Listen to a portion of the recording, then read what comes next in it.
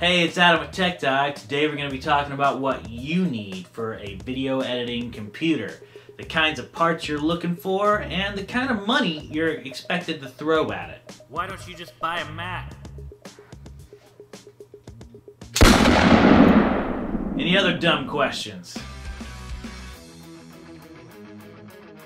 Hello and welcome to Tech Dive. Today we're going to be talking about what makes a video editing computer a video editing computer and what makes it different than a gaming computer. We're going to talk about the components to focus on. We're going to suggest different kinds of parts for your build and we're also going to suggest build guides and things like that if you're looking for more information to go from here. I have here a 4K editing computer and I'm going to talk about the price, I'm going to talk about what it took to build it, and I'm going to talk about parts that you can use to copy this build or to get other builds, and we're also going to take a look at a benchmark. We're also going to take a look at a few different benchmarks actually, so you'll be able to see what this computer is capable of doing and what that price point is going to do for you.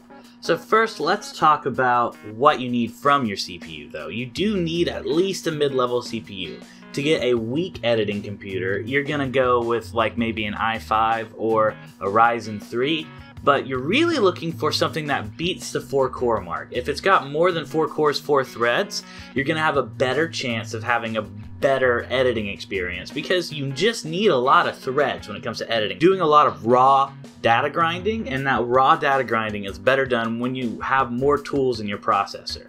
I highly recommend the Ryzen 1600 it's so good. It's six cores, 12 threads, and I've done 4K editing on a Ryzen 1400 of 4 cores, 8 threads, and that was okay, but that's kind of the point where I was like, this isn't quite good enough for 4K editing. I just had some issues when I was doing 4K editing on it.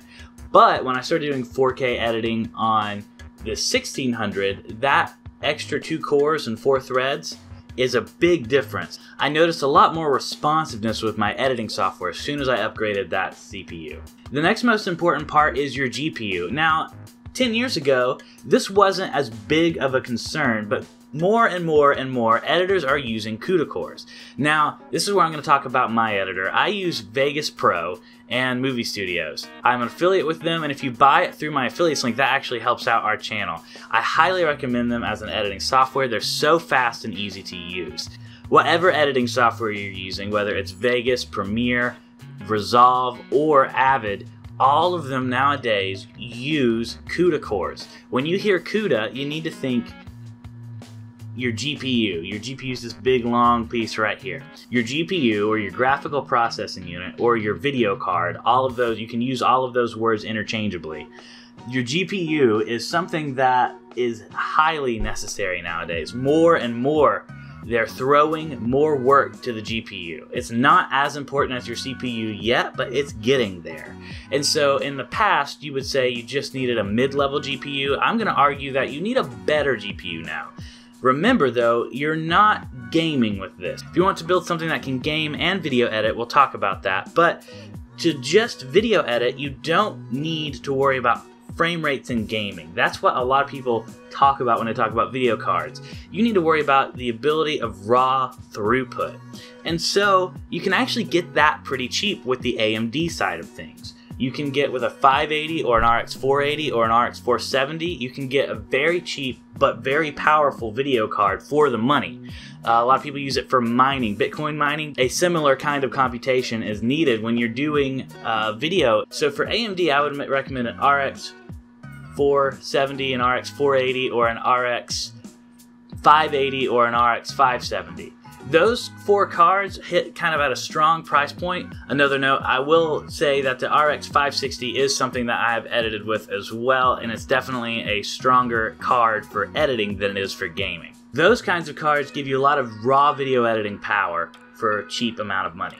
Why not NVIDIA? Well, you can totally get NVIDIA. NVIDIA makes fantastic cards, very, very good cards. And in fact, NVIDIA has very good drivers. And a lot of people are making their softwares to utilize NVIDIA drivers first because they are the more common video cards since they're better for gaming.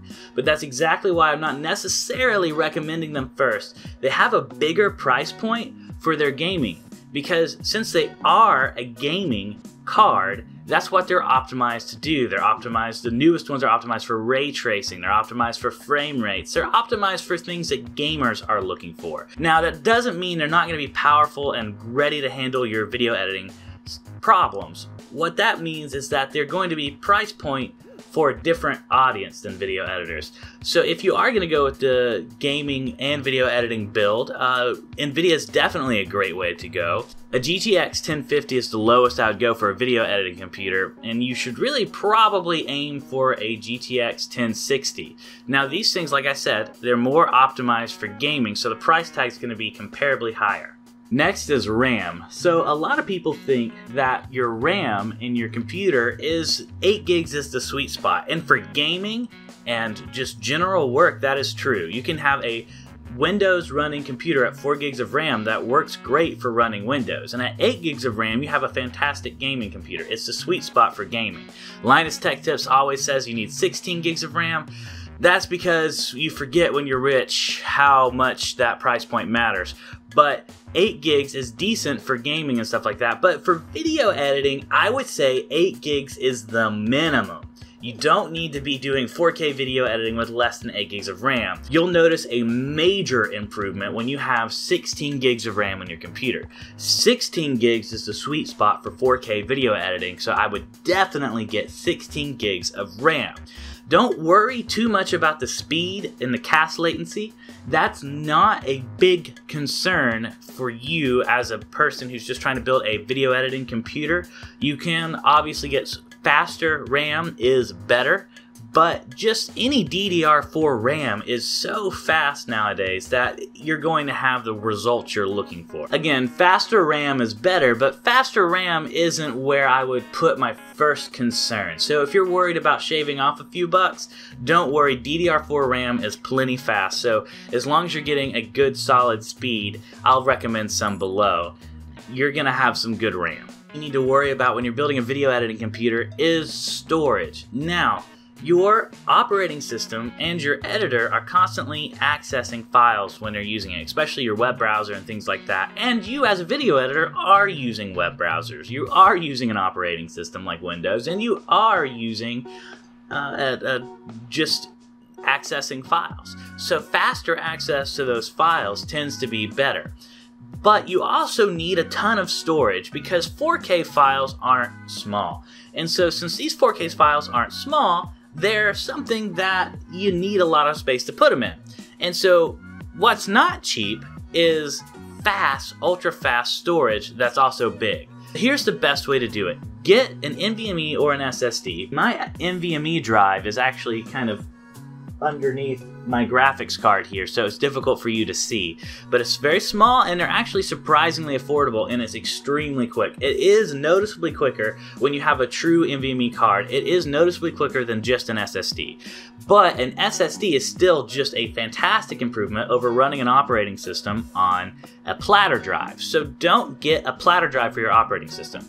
Get at least two drives. When you get two drives, you can get a 3 terabyte, 2 terabyte, 1 terabyte, whatever kind of video storage you need. You can get that in extra platter drives and easily throw them in your computer and just have your raw program storage and stuff there. But getting a 240 gig, 500 gig SSD to run your operating system and a lot of your base editors and stuff on there will drastically increase your workflow. So that's what I want you to think about. It's not just about how much room you have on your computer, but it's how fast you can access it. There's two good improvements to this.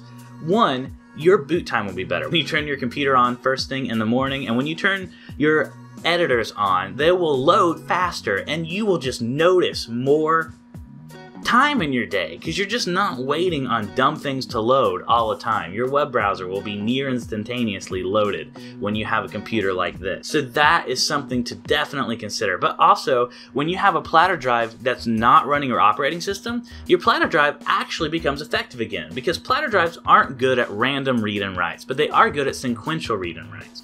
And they can very easily deliver your video footage at a very fast rate over a SATA cable. Using a platter drive to hold your video files is more than fast enough to hand your giant video files over to your operating system and over to your video editor as long as you're not trying to run your operating system and video editor on the same drive. With 4K files, having something that can quickly move those big files and store a lot of them in one place is very helpful. I wouldn't forget backup solutions. In an ideal world, I would have two platter drives in a RAID 0 where everything is mirrored and that would give me double the read speed as well. So that's something to consider if you're able to mark up on what you're doing, but it's not something that's super important. As long as your most critical files are backed up in more than one space, then you should be good. You can do that with cloud drives or an external drive, but just make sure you think about backups as well. So I think that's where a lot of people stop when they talk about building an editing computer, but there's a couple more things I want to mention. Don't skimp on the other parts. There's three things to think about. One, your power supply is running the juice to all these expensive parts. Getting the cheapest, cheapest, cheapest power supply is kind of like putting a time bomb in your computer.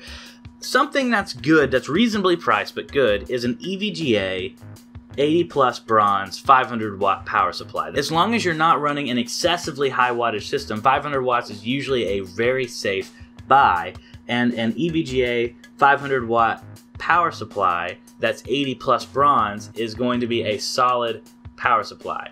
Why do I trust it? Well, there's two reasons. EVGA, and, and there's other good brands as well, I'll list them. EVGA is what I have in this one. It's just, I've seen it work well over a long period of time. I was in IT for five years, and the power supplies we had failed the least all said EVGA on the side. That doesn't mean there aren't other good power supply brands, that's just the one I would like to recommend.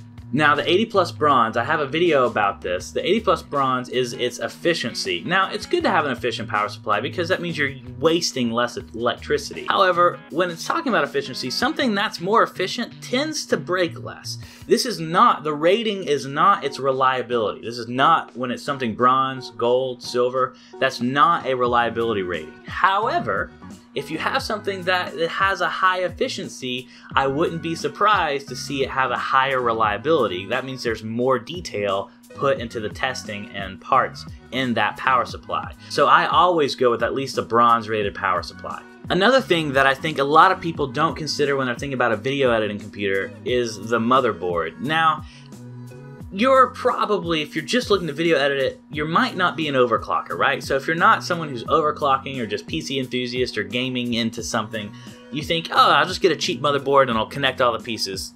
That's okay, but you want to consider putting a little bit of money into your board. So what I have is an MSI Bazooka, and the MSI Bazooka is a relatively good priced board, but it's got good power delivery, it's got good cooling on the board, things that I think will make the board last longer. So it's a good price to performance kind of motherboard. So it's not that I'm suggesting that you shouldn't get a cheaper motherboard, but what I am suggesting is that you don't need to get the cheapest motherboard. If it's a Ryzen chip, you need a Ryzen motherboard, and if it's an Intel chip, you need an Intel motherboard. More information about that in the links below. But having a motherboard that doesn't skimp on the small things means you're going to have a computer just like your power supply. You're going to have a computer that's going to last longer and be more reliable. And when you have an investment of this size, it doesn't make sense just to get the cheapest thing, which could actually influence the killing of your other parts if it dies violently. The last thing I would like to note is the cooling of your computer. Now, as long as you have something that will cool reasonably, you'll be okay. Everything will run up to spec and you'll have a strong computer. So cooling isn't my first concern when you're worried just about video editing. If you're into overclocking or other PC enthusiast kind of things, then cooling is definitely more of a concern. So I would say the weakness to this case is its airflow. It's really only got one couple of places where the air can come in and out, and then it's got its own airflow for the power supply, and that's very weak. And one of the things that does is it makes my computer run a bit louder. The fans have to run a bit stronger to push the air through. Do I have performance issues? No, because I'm not doing a lot of major overclocking right now, uh, not for this video at least. Now, what does matter, think about this. If you are recording your voiceovers to this computer, or if you're doing recording in the same room as the computer, your fans do matter. So getting a computer that is water cooled or getting a computer that is high airflow and silent fans is something of a concern. So I'll have links below with suggestions for that. Steven does do the same kind of thing where he overclocks and records next to his computer. So I'll be suggesting some of his Arctic coolers there. For my computer, one of the things I wish I had done is built a cooler computer because I do my voiceovers to this computer in this room. And so one thing I'm constantly fighting is this computer's fans. I'm fighting its fans right now with my microphone being right here and the fans are currently running. So that is something to keep in mind. If you're just an editor and you're never filming in the same room as your computer, not as big of a deal. So getting a cheaper case, as long as it's functional and will run to spec, is good. I use a Sony FDR AX100 for my recording. It records at 4K at 60 megabits per second using an XAVC S codec. And I recorded at 29.97 frames per second. And I rendered it back to the exact same profile, and it took 5 minutes and 23 seconds using the CPU. Next, I took the same Sony codec and I rendered it to a YouTube friendly codec in MP4 AVC, and that compression took 2 minutes and 48 seconds using the CPU. Now, using the graphics accelerated rendering, it only took 1 minute and 5 seconds to compress the 4K video to an MP4 AVC. So there you go. Those are three benchmarks of common renders that you'll be doing with 4K video.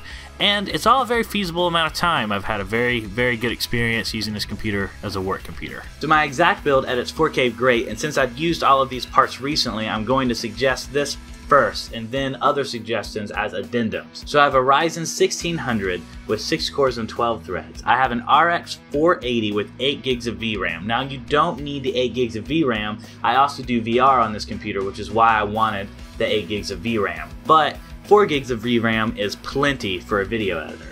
Also, I have an EVGA 80 plus bronze power supply. That power supply is a good quality 500 watt power supply that I think is going to last a while in the system but not break the bank.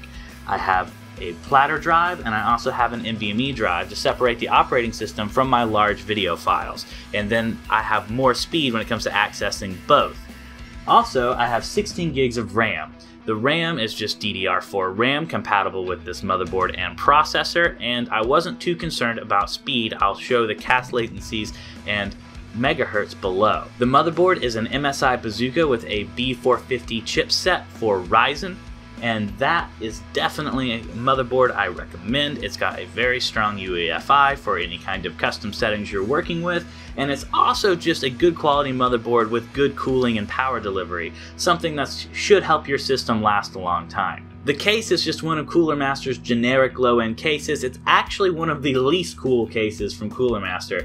It's very sleek. I removed the front panel to this case, but it's usually got a sleek looking tinted plexiglass cover, and it's also got the flat black finish to everything else. And that is a nice professional looking case that's not too expensive. However, for cooling, I would not recommend this case. So I'll have some other cases recommended as well if you're looking for something that is a cooler but maybe slightly more expensive case. So those are my thoughts when it comes to building a video editing computer. These are generic thoughts that can help you think about the parts you're buying better. I have exact part suggestions below whether you want an older and cheaper models or some of the newest and latest models and whether you want Intel or Nvidia I will have all of that in the description. If you buy it through our affiliates links that helps us out a lot. Like if this video helped you out, subscribe if you're looking for more videos like this one. Thanks for watching, I'll see you next time.